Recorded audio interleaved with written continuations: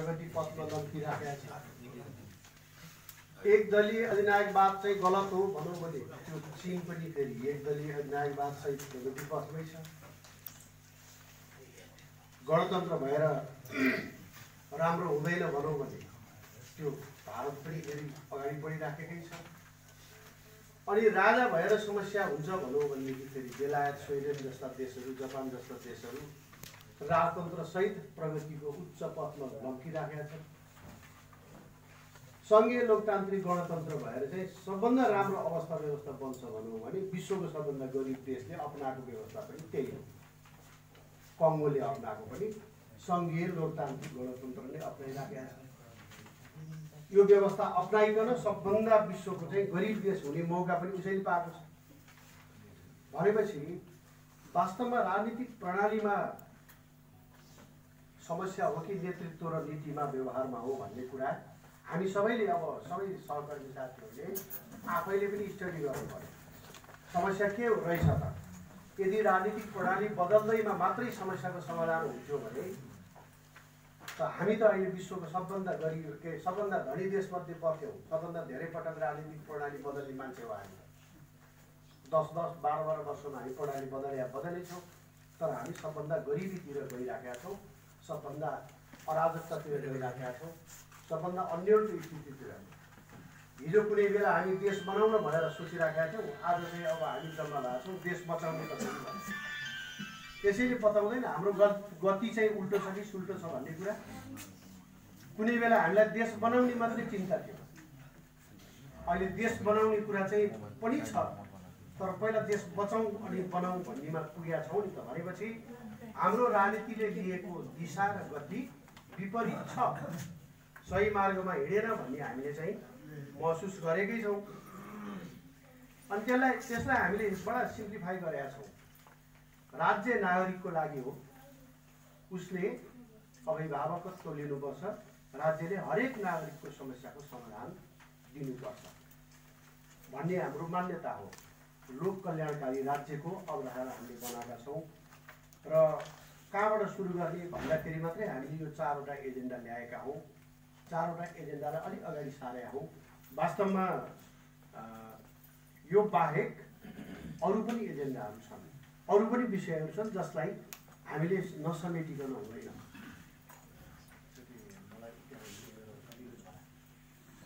सबै सबै सिङ्गे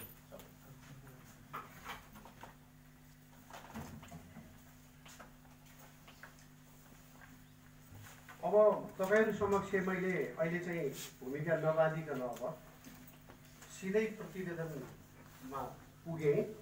प्रतिवेदनको सुरुमा मैले नेपालमा अहिले क्रियाशील भएका राजनीतिक दलहरूको बारेमा हाम्रो दृष्टिकोण सहितको एउटा अवधारणा यहाँ प्रस्तुत गर्दैछु। नेपालमा अहिले क्रियाशील देखिएका शक्तिहरूमा सातवटा शक्तिहरू देखिन्छ सात प्रकारका। एउटा नेपाल कम्युनिस्ट पार्टी केपी ओली। जो सत्तामा छ। नेपाल कम्युनिस्ट पार्टी प्रचण्ड जो सत्ताको लागि छटपट्टिमा छ। त्यसपछि नेपाली काङ्ग्रेस पार्टी छ। अनि जनता समाजवादी पार्टी राप्रपा नेकपा माओवादी विप्लव समूह र विभिन्न प्रकारका नागरिक सङ्घ संस्थाहरू। अहिले नेपालमा क्रियाशील देखिराखेको शक्तिहरू यिनै हुन् भन्ने हाम्रो बुझाइ हो। यसमा अरू पनि छन् भने अहिले छलफलको साथीहरूले राख्नुहुनेछ। यसमा केही टिप्पणी भए आफूले नोट गरेर राख्नु होला त्यसपछि पछि हामी यसलाई पास पास पारित गर्ने बेलामा त्यसलाई पनि समेटेर पास गर्नेछौँ। अब मैले पढ्न सुरु गरेँ नेकपा केपी ओली। केपी शर्मा ओली सङ्घीयता जातीयतामा आधारित प्रणाली र माओवादी आन्दोलनसँग चरम विमति जनाउँदै आएका नेता हुन्। धेरै पहिलेदेखि नै उनी माओवादी विरोधी नेताका रूपमा स्थापित नेपालमा जातीय नामसहितका दर्जन बढी प्रदेशहरू खडा हुन नदिन। उनको मुख्य भूमिका रहेको छ मदन भण्डारीकृत जनताको बहुदलीय जनवादका हिमायती। ओलीको नेतृत्वमा रहेको नेकपा एकदलीय अधिनायकवादी समाजवादको पक्षमा नरहेको दस्तावेजले स्पष्ट गरेको छ। नेकपा विभाजनका केही महत्त्वपूर्ण कारणहरूमध्ये बहुलवादलाई स्वीकार गर्ने या नगर्ने भन्ने विषयमा उत्पन्न विवादलाई मानिन्छ। र बहुदलीयताका पक्षमा केपी समूहको दृढतापूर्वक समर्थन रहेको पाइन्छ। सरकार प्रमुखका रूपमा केपी शर्मा ओली र उनको समूहप्रति आलोचना योग्य यथेष्ट विषयहरू भए पनि राजनीतिक दृष्टिले उनीहरूको दृष्टिकोण र भूमिका अपेक्षाकृत अपेक्षाकृत प्रजातन्त्र र राष्ट्रियता मैत्री रहेको देखिन्छ।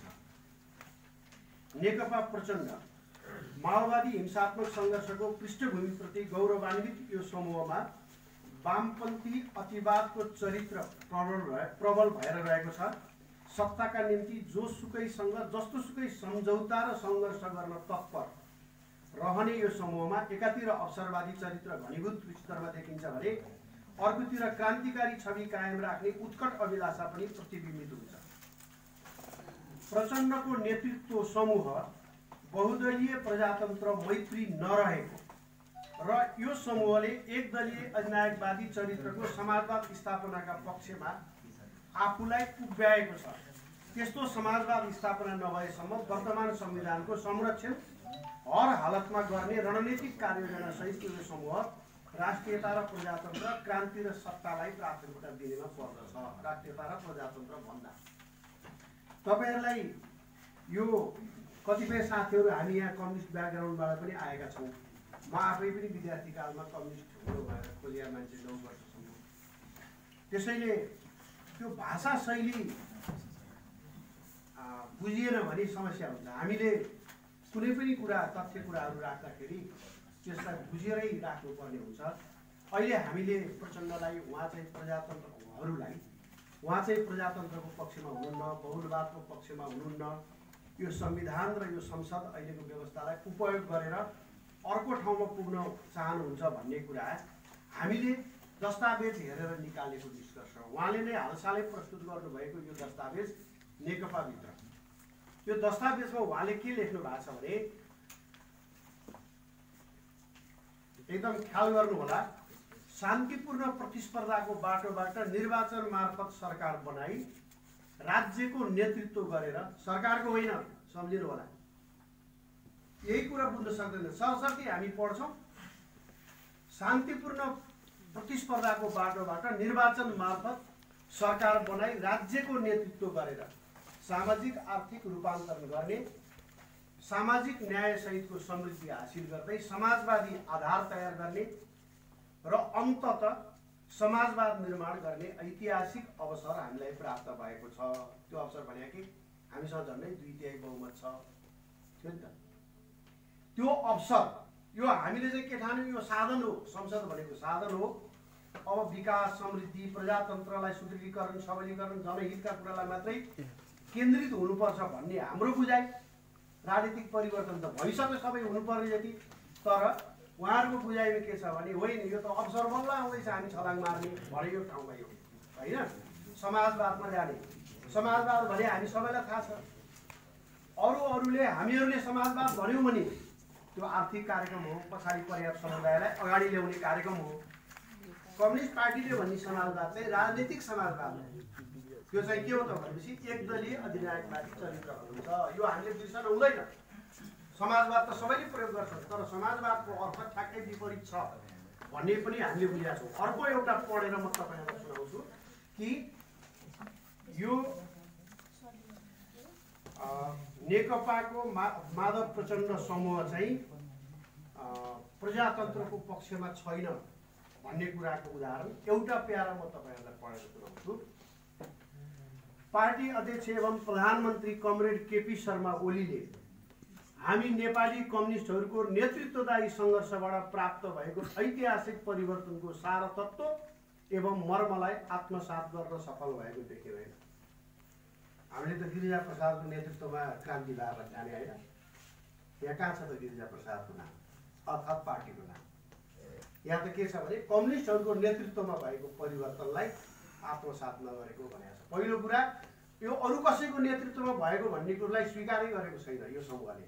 दोस्रो कुरा अब त्यसैमा कन्टिन्यू नेपालमा स्थापित सामन्तवाद विरोधी क्रान्तिलाई मौलिक ढङ्गले सम्पन्न गरी मौलिक ढङ्गले सम्झिनु होला।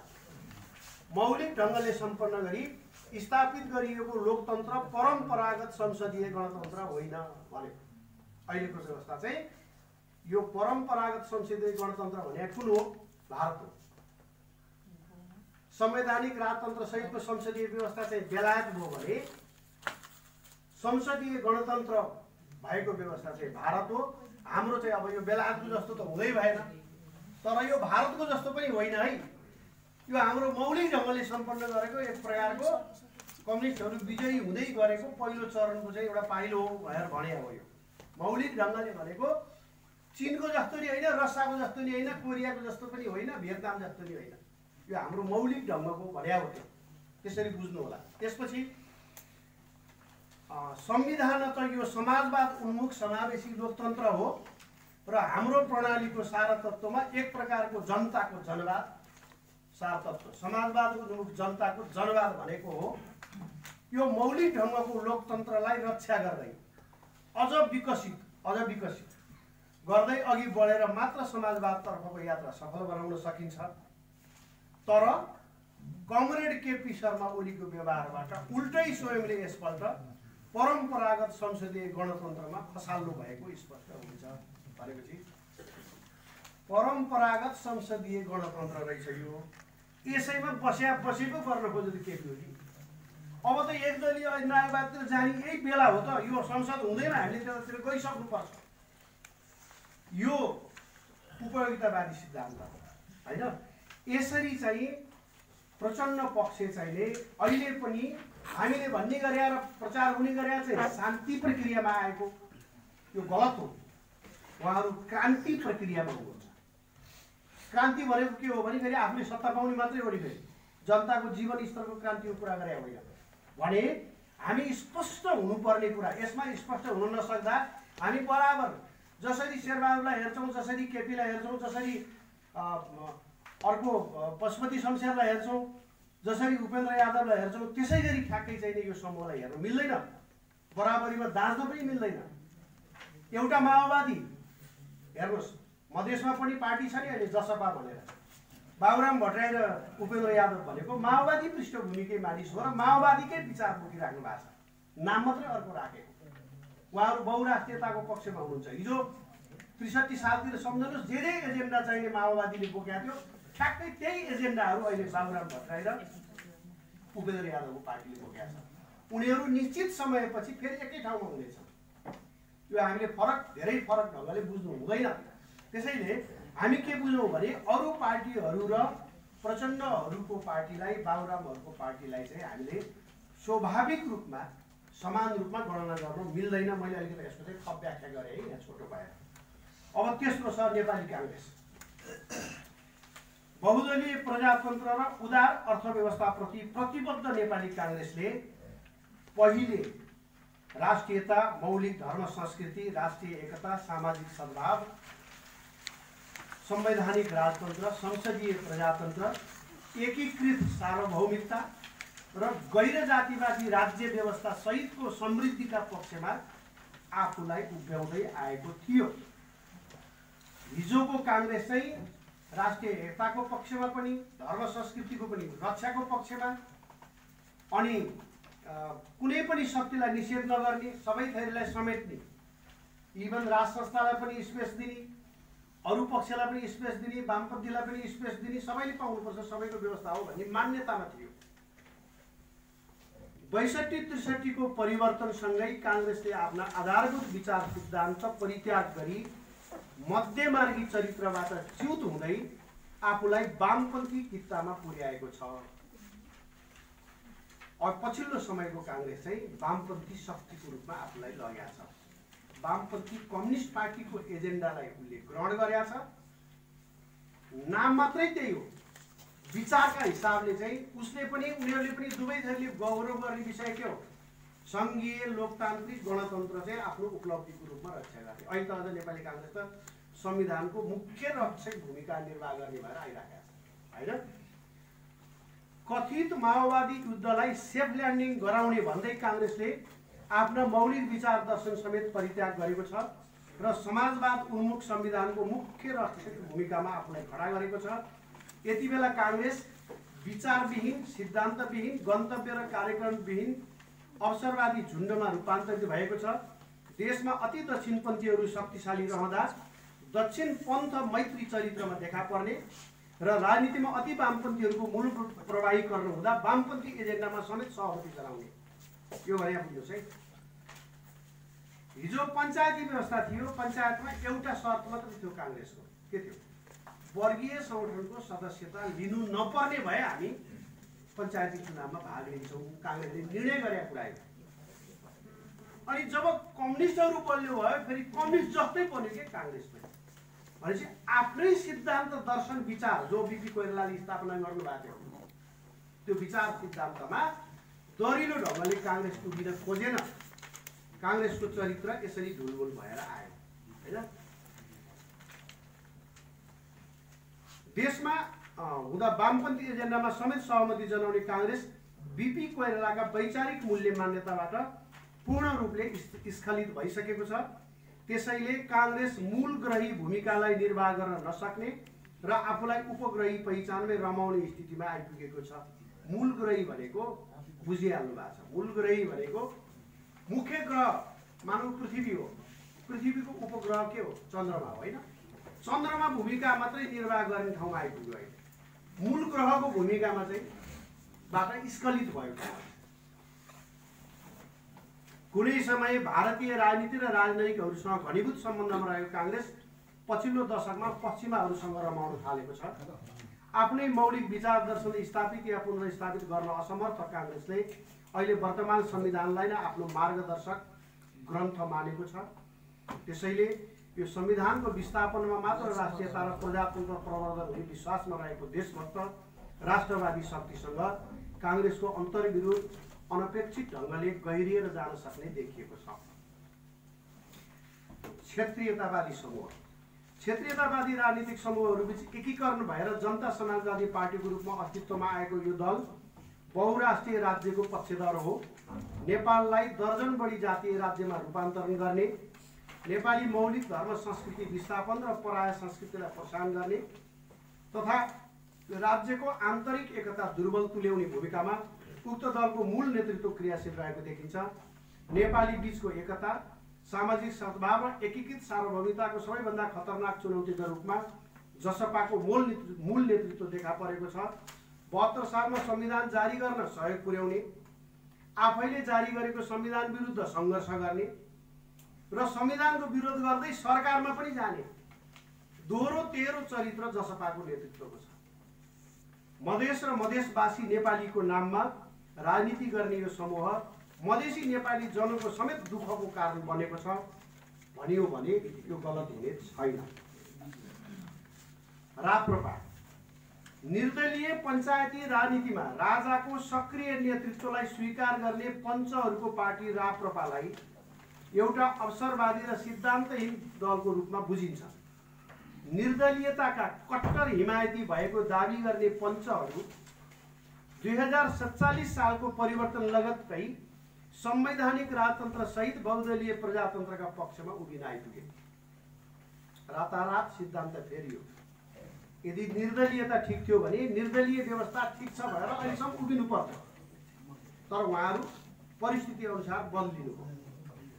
र त्रिसठी सालको परिवर्तन पश्चात गणतन्त्रवादी भन्न पनि फेरि यिनैले भ्याए गणतन्त्रवादी पनि भने पूर्व पञ्चहरूको यो समूहको एउटा घटकले हिन्दू राष्ट्र र राजतन्त्र सहित राजतन्त्र पुनर्वालीको एजेन्डा त बनायो तर धर्मनिरपेक्ष सङ्घीय गणतन्त्रात्मक संविधान जारी गर्न सहयोगी भूमिका निर्वाह गर्यो र सरकारमा सहभागी भएर वर्तमान संविधान विश्वकै उत्कृष्ट भएको विश्वव्यापी प्रचार गर्न पनि यही घटकले भ्याए आफ्नो अभिव्यक्ति कर्म र व्यवहारले राप्रपा राष्ट्रवादी आन्दोलन विस्तारमा राष्ट्रवादी आन्दोलन विस्तारमा बाधक बनेको महसुस आम देशभक्त नेपालीले गरिरहेका छन्। कम्युनिस्टले मार्क्स लेनिन र माओ तथा काङ्ग्रेसले गान्धीको नाम तथा तस्विर भजाएर आफ्नो अभिष्ट पुरा गरेकै शैलीमा पूर्व पञ्चहरू राजा र हिन्दुत्वलाई आफ्नो राजनीतिक अभिष्ट प्राप्तिको साधन या गहनाको रूपमा प्रयोग गर्दैछन्। क्षेत्रीयतावादी तथा अन्य समूहहरू जस्तै राप्रपाले पनि एक अविश्वसनीय तथा अवसरवादी समूहका रूपमा आफ्नो पहिचान स्थापित गरेको छ। नेकपा माओवादी विप्लव। दस वर्ष लामो हिंसात्मक सङ्घर्षलाई उक्त सङ्घर्षका मूल नायिकाहरूले आफ्नो निजी आकाङ्क्षा परिपूर्ति गर्ने साधन बनाएपछि क्रुद्ध हुन पुगेका अति क्रान्तिकारी एवं राष्ट्रवादीहरूको समूहका रूपमा विप्लव नेतृत्वको माओवादीलाई लिन सकिन्छ। यो समूहले अवलम्बन गरेको हिंसात्मक क्रियाकलाप निन्दनीय छ र हिंसाको मार्ग परित्याग गरेर राष्ट्रिय एकता तथा राष्ट्रियता प्रबलीकरणको अभियानमा सामेल हुन तयार भएमा वामपन्थी किप्ताभित्रको एउटा देशभक्त समूहका रूपमा विप्लव नेतृत्वको माओवादीलाई आत्मसात गर्न सकिन्छ। छ। हामी छलफल गर्छौँ है पछि यसमा यो सबै क्रियापद विषय विभिन्न नागरिक सङ्घ संस्था पछिल्लो समयमा नागरिक स्तरमा दर्जनौँ सङ्घ संस्थाहरू सतहमा देखा परेका छन् यस्ता सङ्घ संस्थामा नेतृत्वदायी भूमिका निर्वाह गर्नेहरूमध्ये अधिकांशको पृष्ठभूमि अज्ञात छ रातारात पैदा भएको मानिसहरू एकैचोटि चाहिँ नै विकल्प दिन खोज्ने गरी प्रस्तुत भएका छन् जसको बारेमा कसैलाई थाहा छैन यो को मान्छे थियो हिजोसम्म के गर्थ्यो कहाँ बस्थ्यो? केही पनि थाहा छैन। तर त्यस्ता मान्छेहरू रातारात देखा परेका छन्। अज्ञात पृष्ठभूमिमा उत्ताउला युवाहरू चर्को र गैर जिम्मेवार अभिव्यक्ति मार्फत आफूलाई समाजमा स्थापित गर्न जबरजस्त प्रयास गर्दैछन् भने केही चतुर व्यक्तिहरू चाहिँ जन असन्तुष्टिलाई उपयोग गर्दै जन असन्तुष्टिलाई उपयोग गर्दै आफ्नो राजनीतिक महत्वाकांक्षा पुरा गर्न प्रयत्नशील छ वैचारिक एवं दार्शनिक धरातलीय आधार बिनाका यस्ता सङ्घ संस्थाहरूको सिद्धान्त रणनीति र कार्यनीतिमा स्थिरताको सख्त अभाव रहेको छ। तथापि यस प्रकारका सङ्घ संस्था या अभियानमा आबद्ध भएका अधिकांश मानिसहरू मानिसमा भने देश देशकै चिन्ता भेटिन्छ। अवसरवादी एवं भड्काउवादी नेतृत्वलाई पन्छाउँदै सबै देशभक्त तथा राष्ट्रवादी शक्तिहरूलाई एकताबद्ध गरी अगाडि बढ्न सके मुलुकमा एउटा शक्तिशाली राजनीतिक विकल्प खडा हुन सक्ने विश्वास गर्न सकिन्छ। भनेको नेतृत्व खराब भए पनि त्यसमा पछि लाग्नेहरू चाहिँ इमान्दारहरूको समूह हो। तिनलाई हामीले बुझाउन र समेट्न सक्नुपर्छ भन्ने मैले अब अन्त्यमा दलहरूभित्रको अन्तर सङ्घर्ष र प्रतिनिधि सभा विघटन। प्रतिनिधि सभा विघटन लेटेस्ट घटना भएकोले मुलुकमा क्रियाशील सबै दलहरूले लामो समयदेखि आन्तरिक विवाद झमेला र तनावको सामना गर्दै आएका छन्।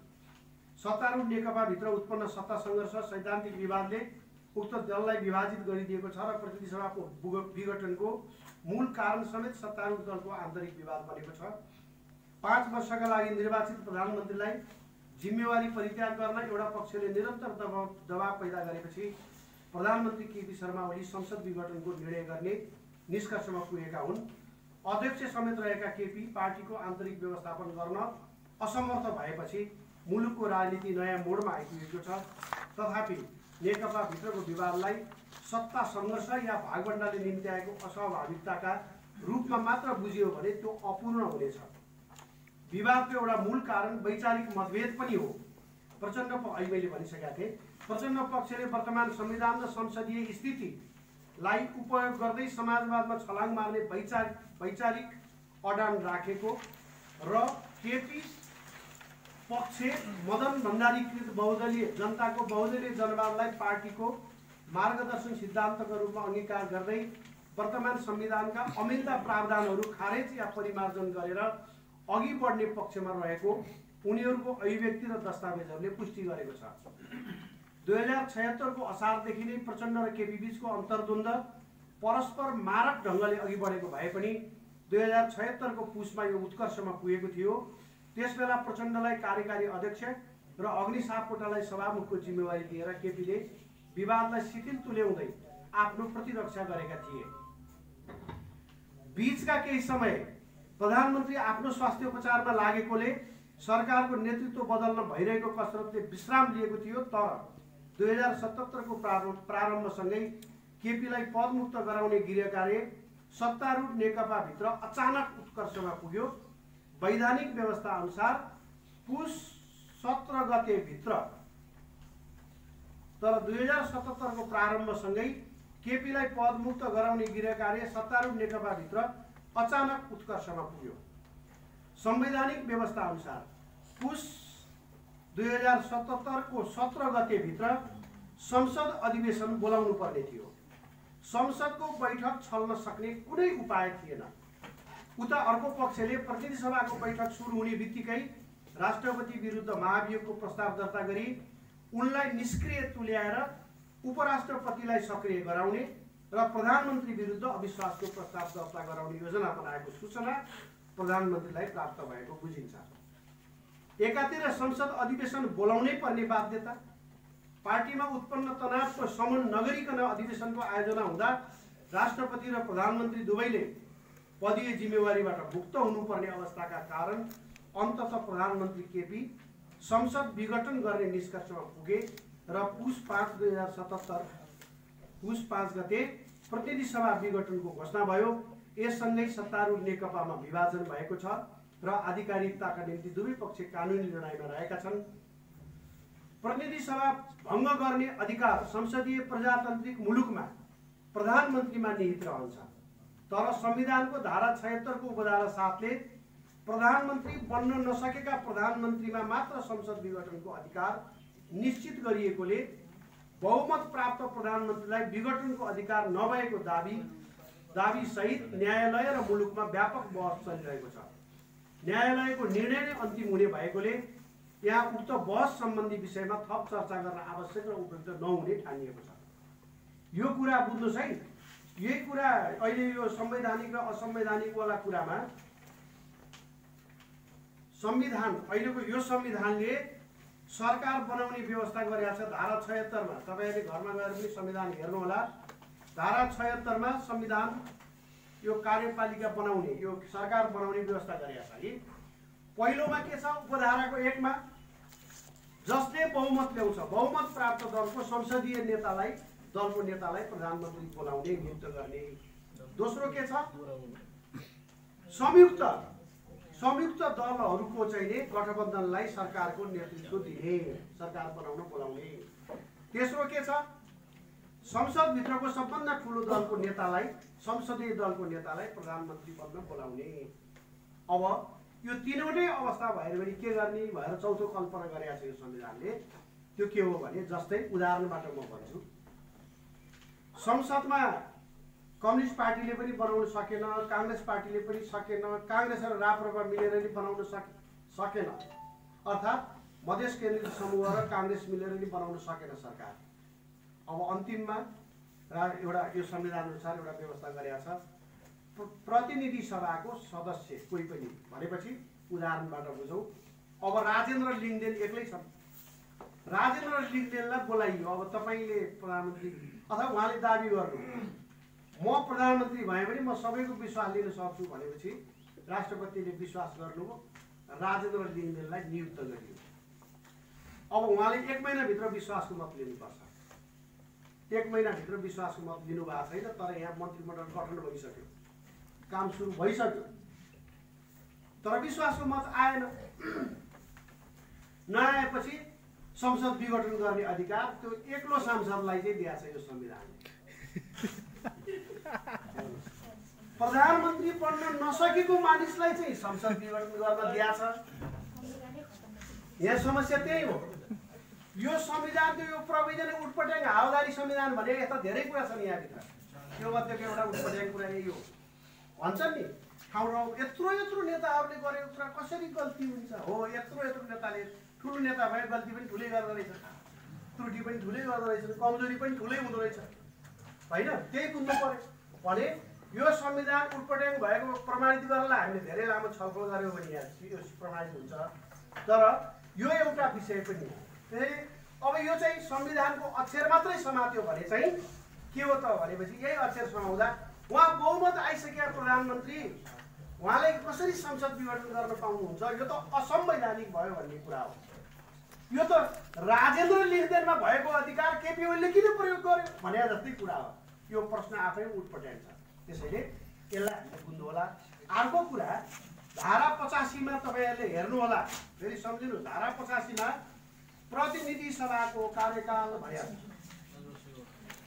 यसमा लेखिनु पर्ने के थियो? प्रतिनिधि सभाको कार्यकाल पाँच वर्षको हुनेछ। सक्यो होइन कुरा? तर यहाँ लेखियो के छ भने संविधान बमोजिम अगावै विघटन भएकोमा बाहेक प्रतिनिधि सभाको कार्यकाल पाँच वर्षको हुनेछ भनेर। भनेको मतलब यो विघटन भइरहनुपर्छ। बाई चान्स भएन भने पाँच वर्ष पुरा हुन्छ है भने आउने संविधानले भने मैले भने संसद भनेको निर्वाचन भइसकेपछि विघटन चाहिँ हुनैपर्छ बिचमै। बाई चान्स भएन भने यो पाँच वर्षसम्म यसले काम गर्न पाउँछ यस्तो व्यवस्था गरेर अब हेर्नुहोस् फेरि पनि उटपटाङ यस्ता उटपटाङ कुराको चान्स छैन र यस्तो विवादमा हामीहरू संविधानका अक्षर भावना अन्तर्राष्ट्रिय अभ्यास सबै कुराहरूको अध्ययन गरेर हाम्रा सब सबै सहकर्मी साथीहरूलाई भन्छु म यो हावाको भरमा दृष्टिकोण बनाउने होइन है? अहिले नेपालका यी फलानु अनलाइन चिलानु पत्रिका फलानु टेलिभिजन भन्नु पर्दैन। कोही पैसाको लागि छन् कोही फलानुको लागि छन्। त्यसैले हामीले धारणा बनाउँदाखेरिमा अलिकति छलफल गरिकन एउटा तथ्यमा आधारित भएर मात्रै बनाउनुपर्छ भन्ने कुरा हो। है यो संविधानको अर्को पनि प्रावधान छ त्यहाँ यो राष्ट्रिय के भन्छ सभामुखको कार्यकाल सम्बन्धी। सभामुखको कार्यकाल संसद विघटन भएको अवस्थामा चुनावमा उम्मेदवारी दिने दिनभन्दा एक दिन अगाडिसम्मको कार्यकाल लेखाएको छ भने त्यहाँ पनि विघटनको परिकल्पना गरेका छ भनेपछि यो संविधानले संसद विघटनको परिकल्पना गरेका छ। अब विवाद के मात्रै छ भने यो राजेन्द्र लिङ्गदेनले विघटन गर्ने कि केपी ओलीले गर्नु पर्ने भन्ने मात्रै विवाद हो। यो कानुनी मात्रै कुरा होइन यो राजनीतिक कुरा पनि हो। त्यसैले यदि हामीले संविधान अनुसार भन्यौँ भने पनि हामी भोलि पनि केमा उभिने हो? भोलि हामीले खोजेको राजनीतिक व्यवस्थामा के हुन्छ त्यो प्रजातन्त्र? हामीले खोजेको त फेरि पनि संसदीय प्रजातन्त्र हो नि। त्यो संसदीय प्रजातन्त्र भनेको के हो त भनेपछि हामीले अवलम्बन गरेको बेलायती मोडेलको। हामी चिनको जस्तो अवलम्बन गर्नु सकेनौँ। अमेरिकाको जस्तो गर्नु पनि हुँदैन तपाईँहरूले बेला बेलामा। चाहिँ तपाईँहरूलाई प्रत्यक्ष कार्यकारी प्रमुख हुनुपर्छ या प्रधानमन्त्री या राष्ट्रपति भन्नुहुन्छ है भन्ने कुरा आउँछ। यो कुरामा पनि अल्मलिनु हुँदैन। तपाईँहरूलाई बुलागत रूपमा भन्छु दुईवटा तिनवटा कारणले। एक नेपालमा एकचोटि सभापति भएको मानिस एकचोटि प्रधानमन्त्री भएको मानिस ऊ आफू बाँचुन्जेलसम्म त्यही पदमा रहिरहन चाहन्छ। यो नेपाली राजनीतिको रोग हो। किनभने उहाँहरूले राणाबाट सिकेको पछि राजालाई देखेको नमरुन्जेलसम्म त्यही पदमा रहिरहनुपर्छ भन्ने हाम्रो संस्कार छ। नेपाली राजनीतिको संस्कार हो त्यो। हामीले प्रजातन्त्रमा पनि त्यही संस्कार ल्यायौँ। त्यसले गर्दा यदि प्रत्यक्ष निर्वाचित कार्यकारी प्रमुखको व्यवस्था भयो भने एकपटक तपाईँ निर्वाचन गर्नुहोस् त्यसपछि उसलाई हराउन तपाईँ ऊ बाँचिन्जेल कहिले पनि सक्नुहुन्न। राज्यको स्रोत र साधनलाई सम्पूर्ण उपयोग दुरुपयोग गर्दै पटक पटक चुनावी प्रक्रिया कोरियामा जित्छ नि बेला बेलामा जनसङ्ग्रह भएर नाइन्टी एट पर्सेन्ट भोट ल्याउँछ उसले त्यो के अरे कपाल काटेर उ गर्ने किम किम किम किम जोङ। होइन? किम जोङ उनले। अनि यस्ता चुनावहरू गराउँछ तपाईँहरूले सम्झिनुहोस् हिटलर पनि चुनावबाटै निर्वाचित भएर त्यसपछि ताना शाह बने। मुसोलिनी हिटलरको पनि गुरु। उहाँ पनि उहाँ त समाजवादी नेता हो फेरि सम्झिराख्नु होला। हिटलर पनि समाजवादी हो हिट मतलब ऊ पनि निर्वाचित भएको चुनावबाट। र अस्ति भर्खरसम्म थिए।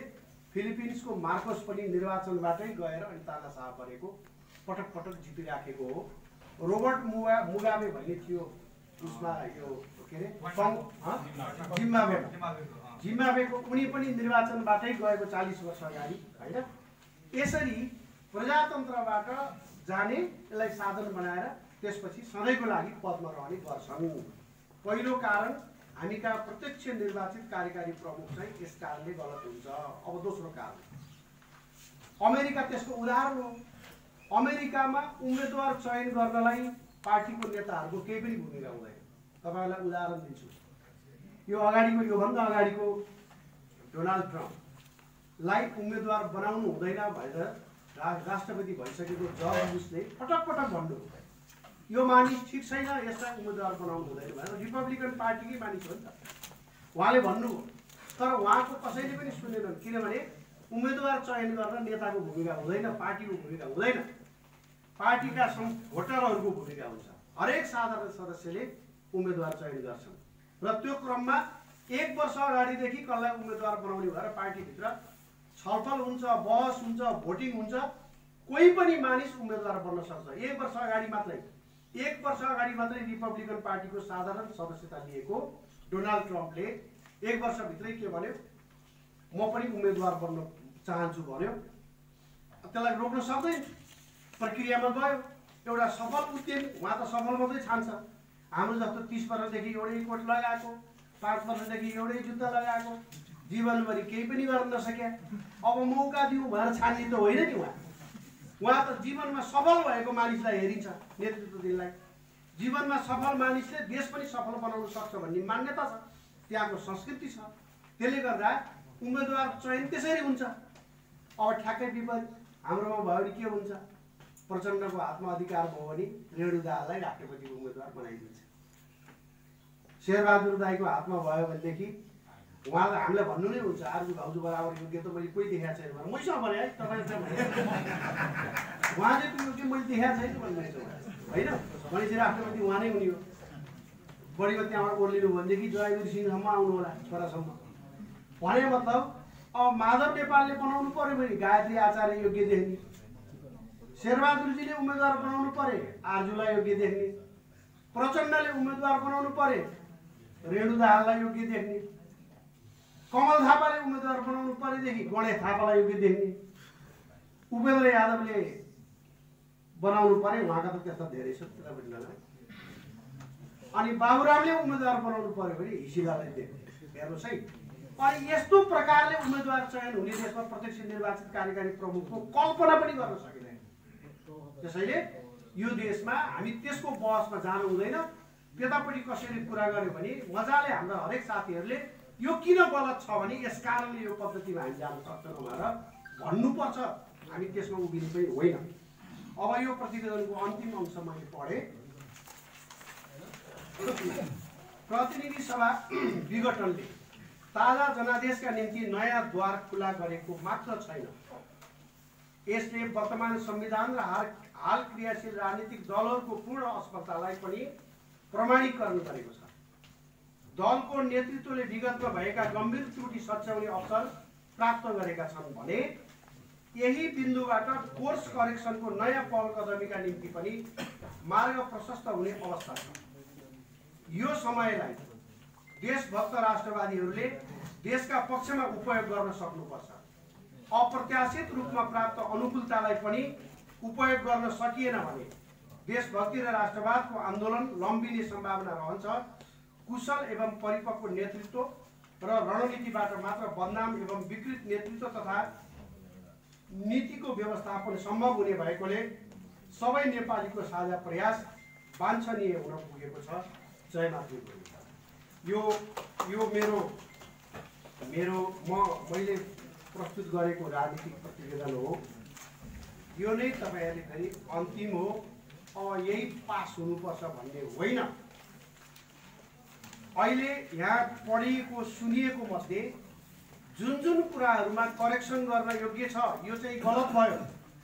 यसलाई सच्याइनुपर्छ भन्ने तपाईँहरूलाई लागेको छ भने आरामले आफूलाई लागेको कुरा यो चाहिँ करेक्सन हुनुपर्छ भनेर भन्नु पर्यो त्यसपछि हामी यसलाई सच्याउँछौँ र यसलाई अझै परिपक्व बनाएर जो कसै हरेक नेपालीको हातमा यो प्रतिवेदन हुँदा यो कुरा ठिक हो है भन्नुपर्छ। अब यसमा हामीले उल्लेख नगरेको कुरा चाहिँ के छ भने यो प्रतिवेदनको सारांश अन्तिम वाक्य अन्तिम प्याराग्राफ यो हाम्रो रणनीतिदेखि लिएर लक्ष्य उद्देश्य सबै कुरा त्यहाँभित्र छ। सानो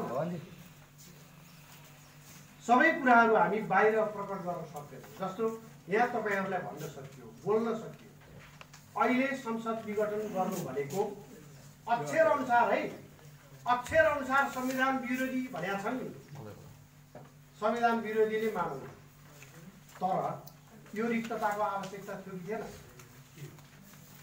यो संविधानका प्रावधानहरू धेरै चाहिँ बदल्न जरुरी छ। हामीले त के भन्नुपर्छ भने कसैले हामीलाई तपाईँहरू संविधान विरोधी भन्यो भने होइन हामी त संविधानका पक्का हिमायत। संविधानको कुन धारा अनुसार हामी क्रियाशील भएको छौँ भने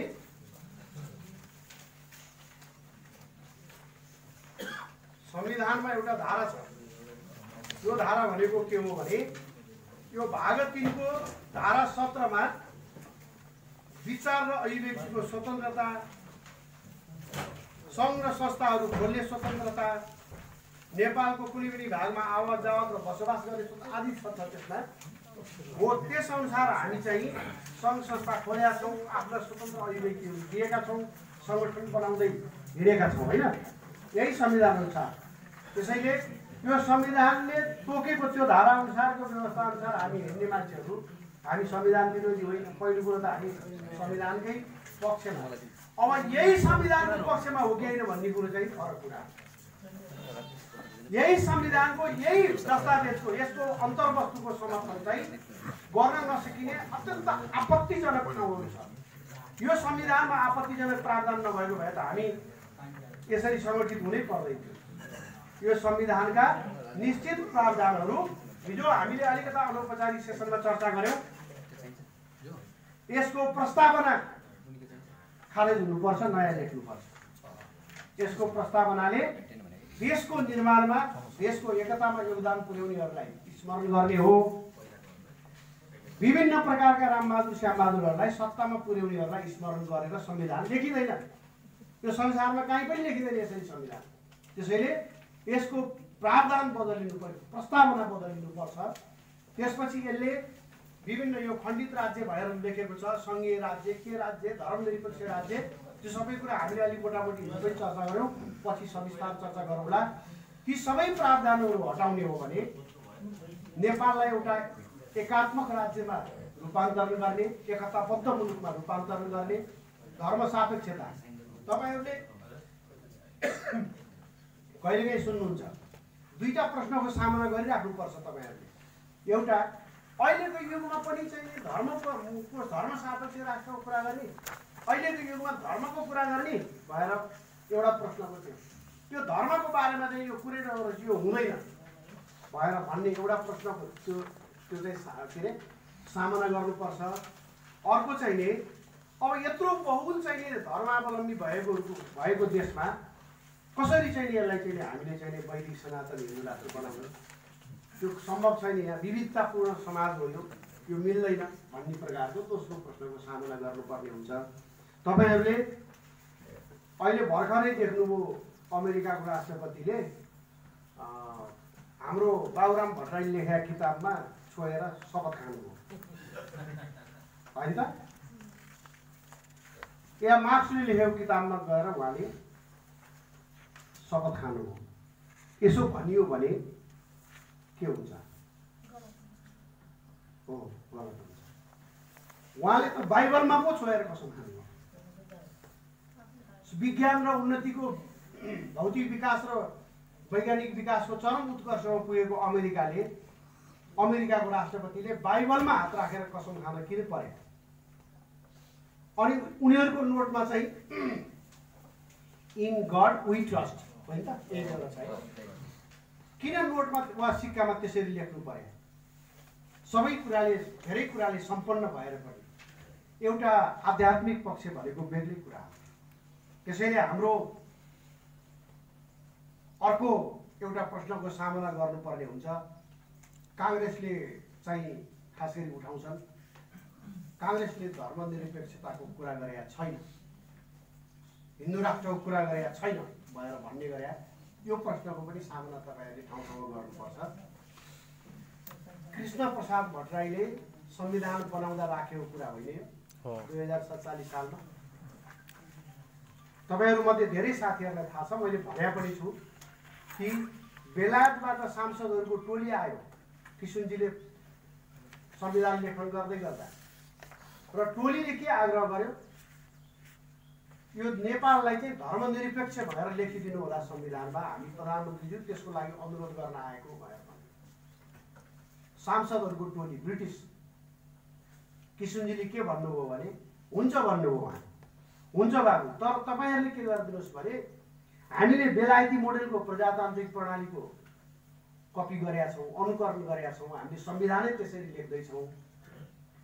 बेलायतको संविधानमा पनि तपाईँहरूले चाहिँ धर्मनिरपेक्ष बनाइदिनुहोस् हामी त्यसलाई फलो गर्छौँ पहिला तपाईँहरू बनेर आउनुहोस् भन्नुभयो। त्यसपछि नाजवाब भएर उहाँहरू त्यहाँ चाहिँ क्याथोलिक धर्म मान्ने मान्छेले प्रधानमन्त्री हुन पाउँदैन बेलायतमा। ठुलो कुरा गर्छ हामीलाई सिकाउने कुन प्रकारले संविधान लेख्नुपर्छ कुन प्रकारले व्यवहार गर्नुपर्छ नीति बनाउनुपर्छ भनेर उनीहरूले उनीहरू यति जङ्गली राजमा छन् साँच्चै भन्ने हो भने भित्री पाटो हेर्नु हो भने क्याथोलिक धर्म मान्ने मान्छे थियो त्यो टोनी ब्लेयर। उसलाई प्रधानमन्त्री बन्न रोकियो। त्यसपछि उसले धर्म परिवर्तन गर्यो। त्यसपछि आफूलाई उसले प्रोटेस्टेन्ट बनायो।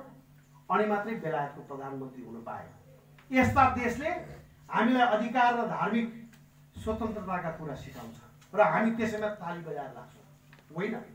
तथ्यहरू हेर्नु हो भने हामीलाई अर्कै ठाउँमा पुर्याउने उद्देश्यले मात्रै यो सब कुराहरू ल्याइएको छ लगानी भएको छ है? यो कुरा हामीले बुझाउन जरुरी छ। धर्मका बारेमा हिजो पनि हाम्रो साथीहरूले भनिसक्नु भएको छ। मैले आज यस विषयमा लामो समय लिन्न। संसारमा एकसट्ठी प्रतिशत मात्रै इस्लाम भएको देश हो मलेसिया।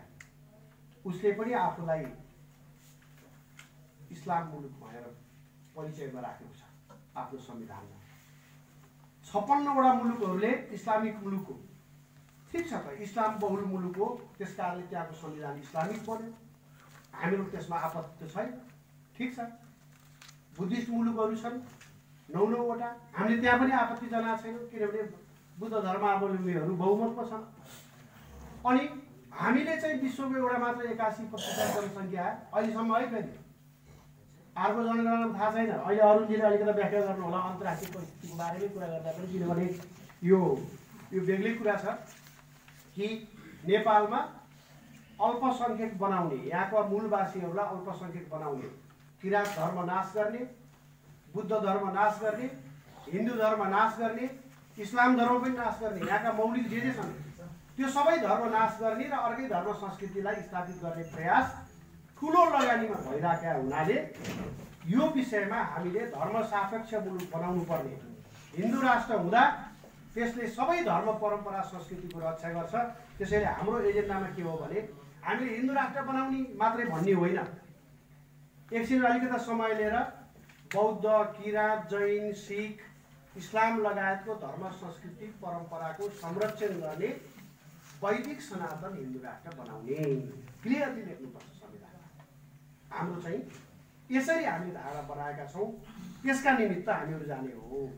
अब यसमा अरू कुनै प्रश्नहरूको बारेमा हामी फेरि छलफल गर्छौँ।